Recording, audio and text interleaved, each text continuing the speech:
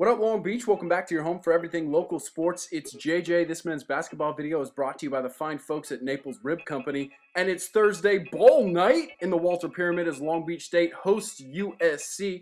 Mike Caffey and the 49ers First game in 12 days, still trying to get that second win in the season, and it's the marquee matchup of the non-conference because Trojans rode their horses south for this one. Long Beach native Roschon Prince, part of the maroon and gold, as head coach Andy Enfield from the infamous free-flying Gulf Coast team of last year's NCAA tournament, and radio personality Petros Papadakis repping the St. John Bosco jersey. Sean McGrew for all those angry white running backs out there. Love it.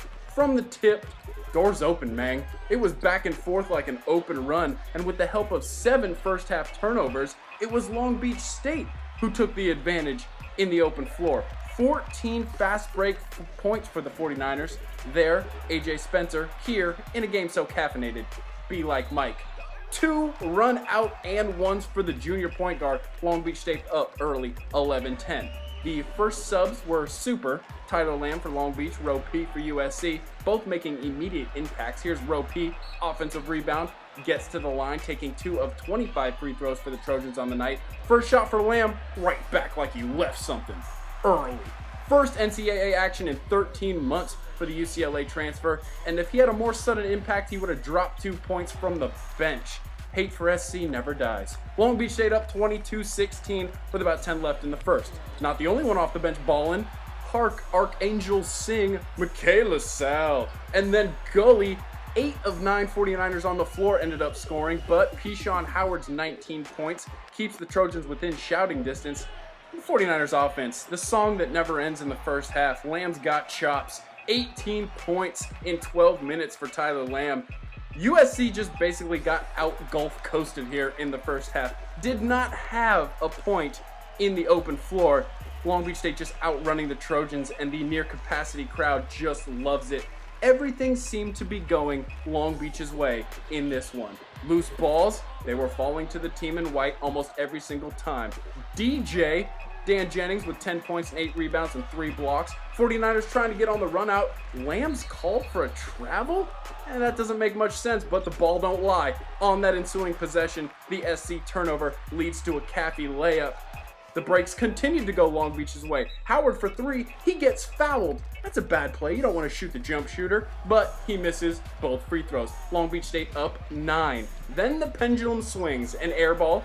DJ straight into Gazette's photographer William Johnson. He and his equipment would be okay. The 49ers, not so much. USC goes on a 13-4 run. Omar Oraby with 17 points and 10 rebounds. Jones getting in there. Long Beach State up four before Caffey goes behind the backy, and it's 68-62 with four minutes left. But oh oh Oraby. He had quite a game and won. It is a one-point game, a little less than two to go. And then back-to-back -back Long Beach turnovers. Jacob with the pick six. It's now 71-70 USC, their first lead since the opening minutes. Same score, next SC possession, best Long Beach State defense of the night shot clock violation show. With the 49ers trailing by one point, 24 seconds left, Mike Caffey is going to bring this ball in. No one is ready to stop ball. To the 10 with the kiss onions. The junior guard will stop for no man because, well, that's a lane, folks. That is a lane.